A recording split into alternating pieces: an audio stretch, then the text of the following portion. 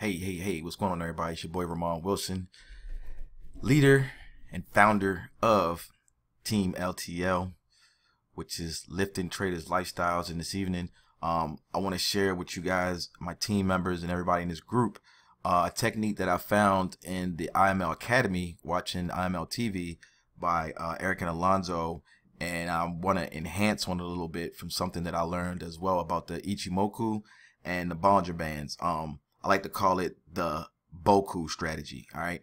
Um, the reason why, if you look on my screen right now, you won't see that I got a lot of uh, looks kind of naked because I don't have any other uh, oscillators like uh, your RSI, your MACD, or anything like that. Because I found that these indicators, the Ichimoku and the Bollinger Bands, with this these two combined, uh, you can pretty much predict a good trend and you can get into some good pips with uh, this uh, Boku style that I'm about to show you guys. So um, I'm gonna I'm gonna walk you guys through the whole thing. I don't want to make this video long, but I'm gonna uh, show you the indicators that I use, uh, the settings you need to have set, what to look for, and how this can be very effective uh, for your trading both with crypto and with um, with the forex market. So uh, without further ado, let's get into it.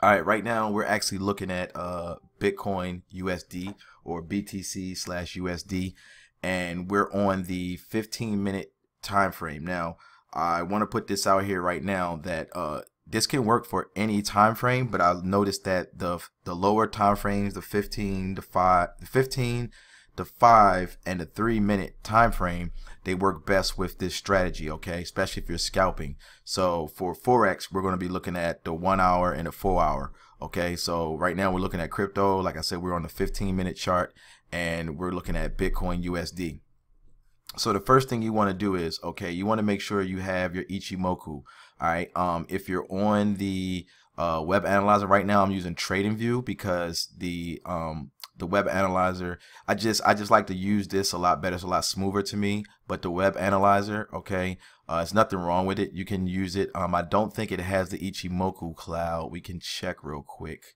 Uh let's see if it has the ichimoku cloud let's just look and see if it has it uh i think it does ichi ichimoku cloud yes it does have the ichimoku cloud so this can be used um with the actual IML web analyzer. Okay. So, um, but like I said, I'm using TradingView. They have a free version you can use. Works just as good. The web analyzer works just as good. Again, this can be applied on that as well. So you want to make sure you have the Ichimoku cloud and how you get that on um, TradingView is you just go up to indicators. Okay. You go up here to indicators and you type it in Ichimoku cloud. So you go to Ichi, I-C-H, and it should pop up Ichimoku cloud right here. You click on that all right and it will bring it up here uh, then the next thing you want to do is you want to make sure that you got your Bollinger Band same thing you go up to your indicators and you type in Bollinger Bands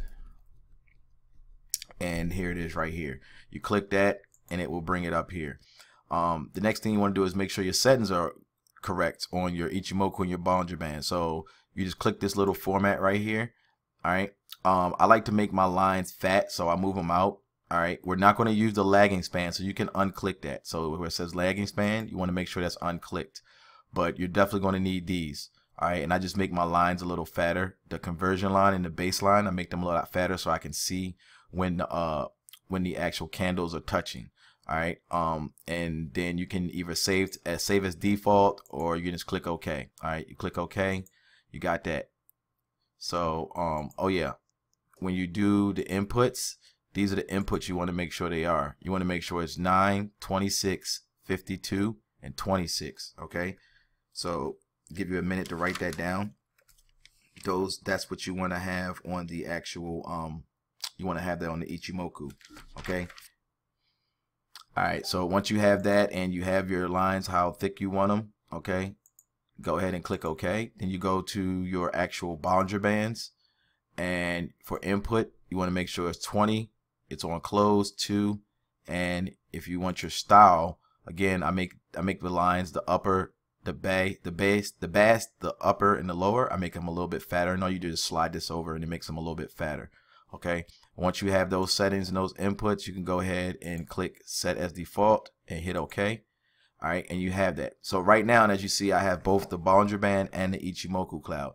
Now, the key with this, uh, with, with this is, okay, first thing I want to tell you, there's three ways that you can trade uh, the Bollinger Bands on Forex and crypto. All right, the first way is consolidation.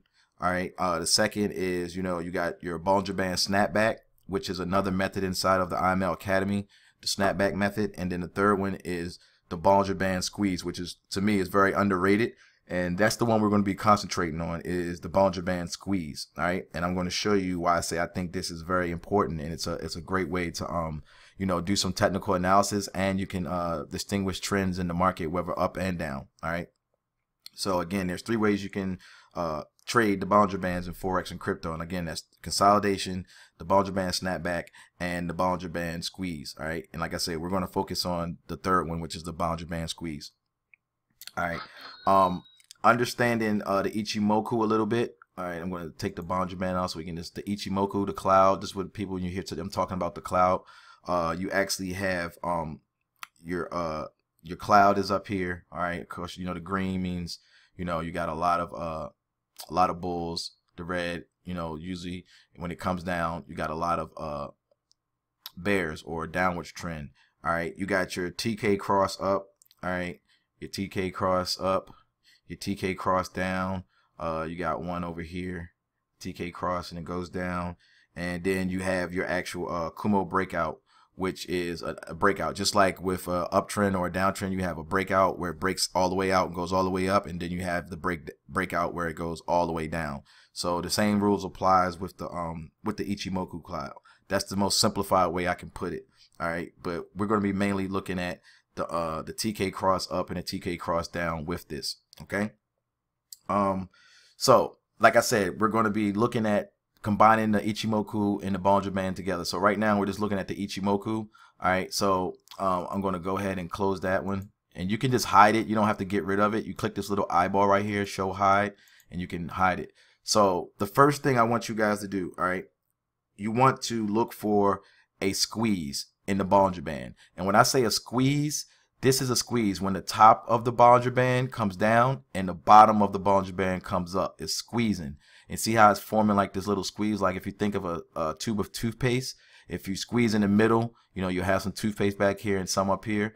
That's what you're looking for. You're looking for when the bottom of the Bollinger Band comes up and the top of the Bollinger Band comes down.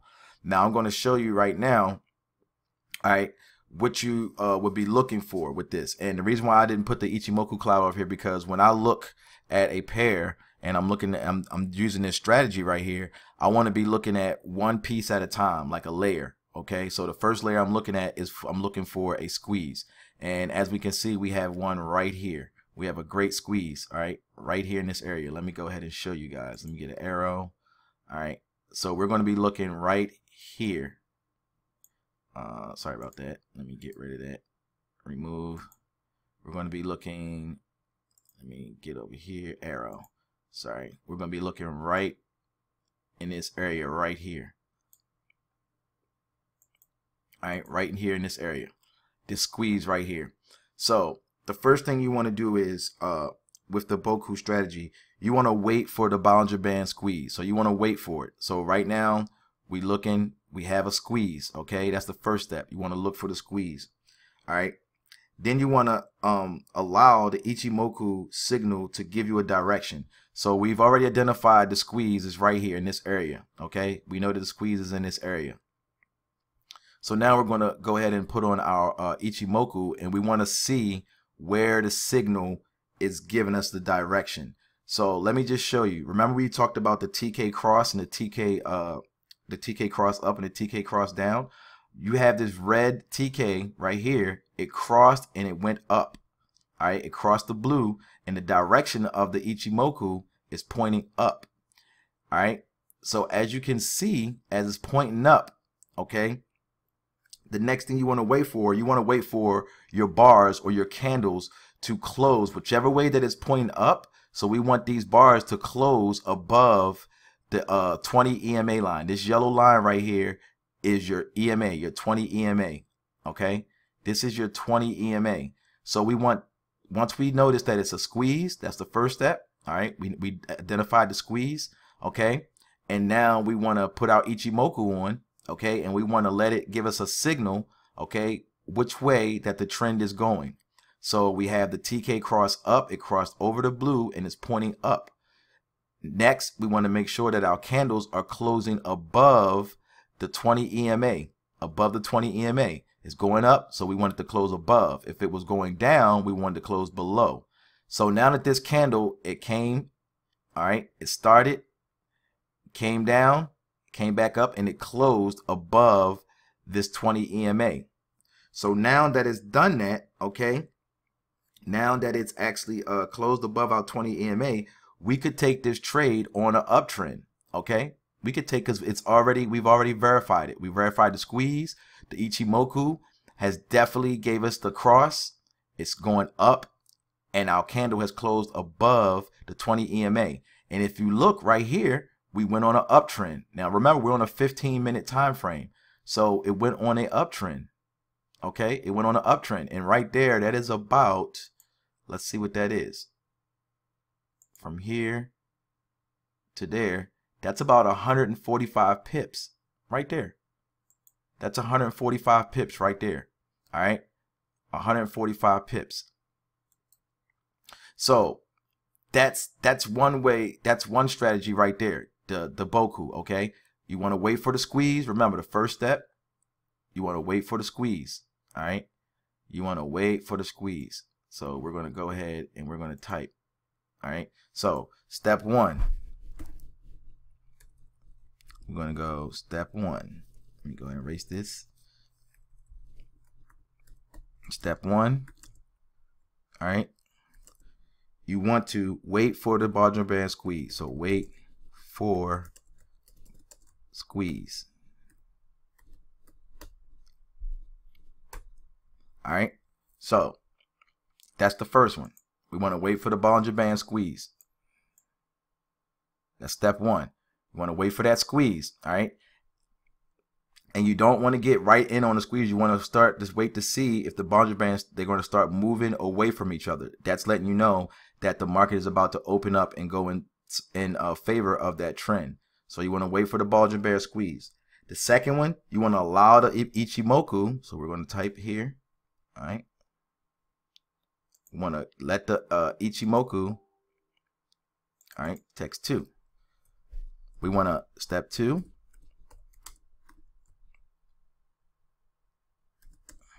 We want to allow.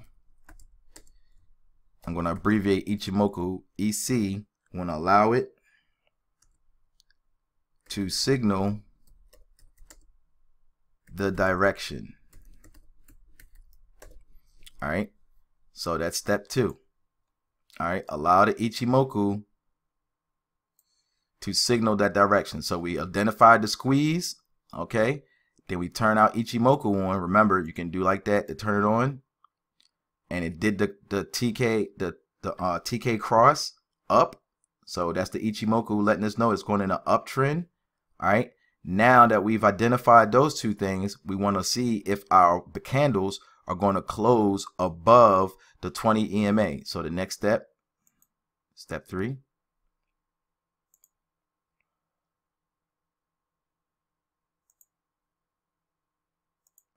Step three. There we go. Step three.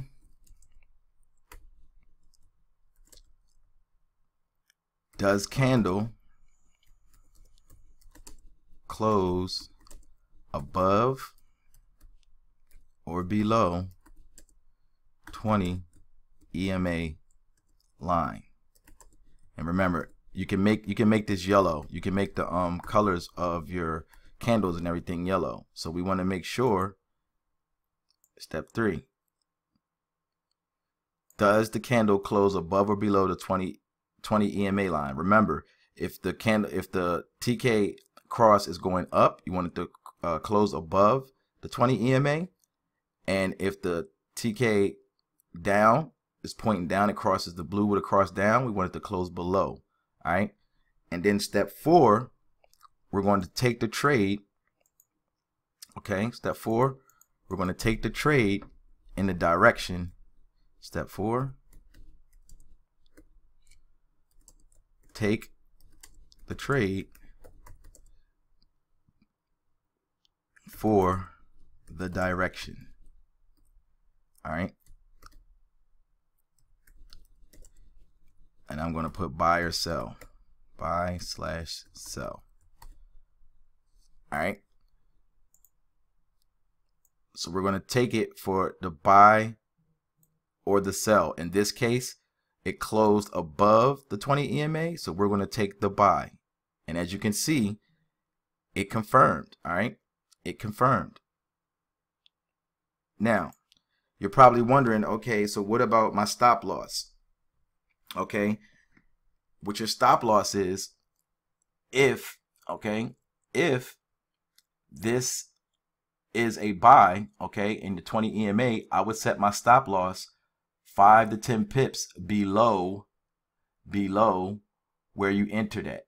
So this is where you came in at. As soon as this closed, okay, that it closed on this 20 EMA, okay, I would set my stop loss 5 to 20, it's up to you, 5 to 20 pips below, below, okay, where you entered at on the EMA, okay?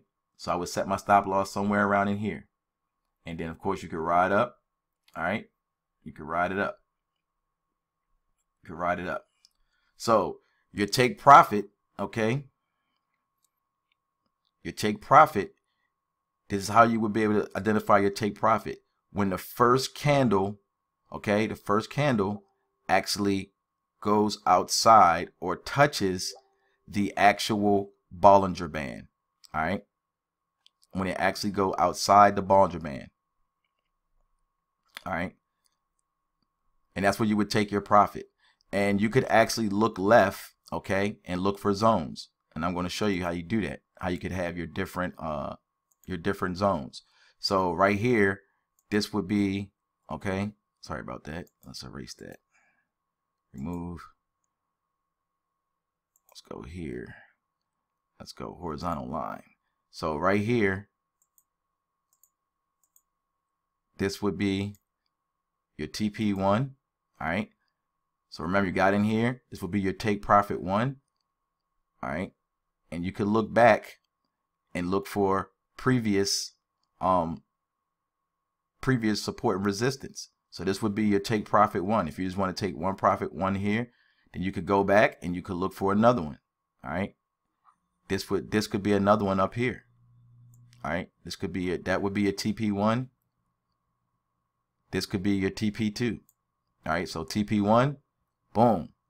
Come back in. You do the same process all over again. This would be your TP2. All right. And that's how you could that's how you could identify your uh, stop loss. Like I said, your stop loss, your um and your take your take profit. Okay?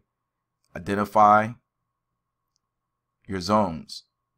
So right there, like I said, that would have been 140 pips. All right. Once you hit your TP, like I said, the way you would get your TP when the first candle, once you come in, once it come out and it goes outside of this actual um touching or goes outside of the outside of the Bollinger Band on an uptrend, okay, that's when you would take your profit and vice versa. So let's look at, let's see if we can identify another one. I want to show you guys another one. See if we can identify another one. All right. So you have the rules written down when you watch this video. If you want to write them down or if you need more help with it, I'll be glad to help you guys. But I'm just giving you guys a general overview. So we'll look for another squeeze. Let's look for another squeeze. All right. Let's look for another squeeze. A real good one. All right, so we got one right here. Let's zoom in. All right, so look, we have another squeeze right here. Okay. We have another squeeze. All right. So you got the squeeze right here. Here's your squeeze. Okay. What do you have? You have the actual uh you have your squeeze, so we could take off the Ichimoku. All right, we have the squeeze. We have a squeeze right here. We have a squeeze. So we identified our squeeze. That's the first one. Then we want to allow the Ichimoku to give us a signal. So we're looking, okay, we're looking for a cross, the TK, uh, the TK cross up or the TK cross down, okay? So we're looking and we see that the blue came in and it crossed over and it went down, okay? Crossed over and it went down. So now, like I was showing you, right, right here. All right, we have a TK cross down, so we've already identified the squeeze. All right, now we cut on our Ichimoku. We let the Ichimoku cloud give us a signal in which way it's going. It crossed and it's going down. Okay, the next thing we want is if it's going down, we want our candle to close below. All right, we want that downtrend candle, that red candle to close below. Below, okay, below the 20 EMA. It closed below the 20 EMA. So you could have actually came in, all right, you wanted to wait a little bit more for it to open up. Remember, you want it to open up. All right, you don't want to just come in all right away. You want to give it a chance to open up. So even if you would have got in back here, you would have had a little divergence, and then look what happened you had a major drop. It went down. And that right there, ladies and gentlemen, is about, let's just say you did get in here. So it came in, all right, came up and it, I mean, came in and it closed. So we could take it from here. We can come all the way down to this low. That's 325 pips right there, ladies and gentlemen. If you just would have got in, been patient, and trusted your technical analysis, the Ichimoku and the Bollinger Bands, all right? Now, you could have came in and you could have took profit soon as it hit right here. Could have took profit right there. That would have been a nice profit because it came and it touched that Bollinger Band, that outside Bollinger Band.